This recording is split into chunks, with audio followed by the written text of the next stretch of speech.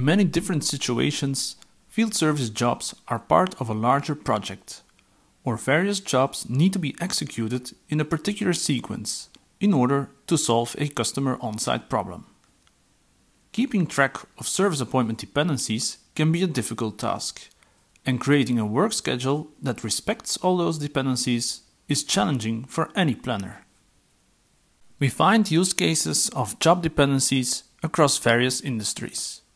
For example, in the construction industry, a site survey is often needed before the construction can begin. In utilities, such as electricity and gas, an installation is oftentimes followed by a grid connection. And across various industries, we see upgrades of hardware or software that need to be followed by an end user training.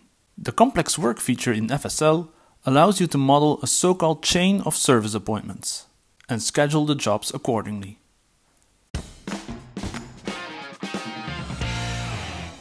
In this list view, we can see that we have a couple of jobs to plan, all related to a solar panel installation work order.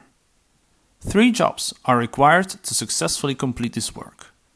An on-site preparation that will take one hour and the actual solar panel installation itself.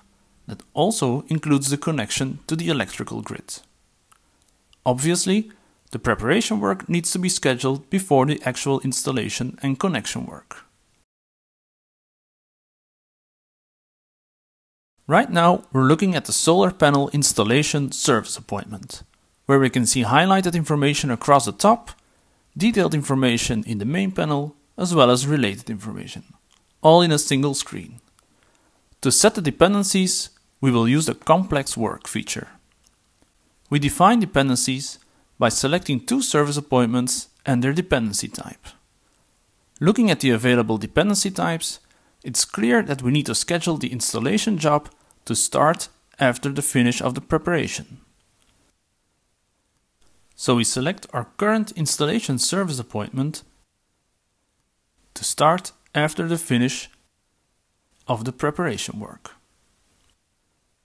Note that it is easy to filter which service appointments are already or not yet part of the chain. Confirming the dependency saves it and gives us a nice visual indication of the linked appointments. From the same place, we can add a second dependency for the grid connection job. We will specify the installation work and the grid connection work to start at the same time.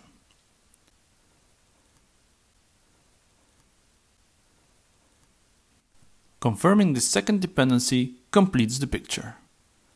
Clicking into the details here gives us another view of the dependencies and also allows for easy correction of mistakes. Optionally, we can also indicate that the same service resource is required for linked service appointments. With the dependencies all set, we can schedule the complete chain of service appointments with just one click. While the scheduling engine goes to work, we get the scheduling feedback right on the spot. We get an overview of when each service appointment is scheduled and who the assigned resource is.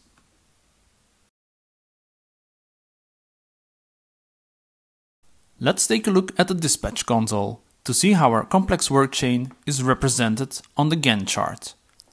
Here we see the different service appointments related to our solar panel installation, now in status scheduled.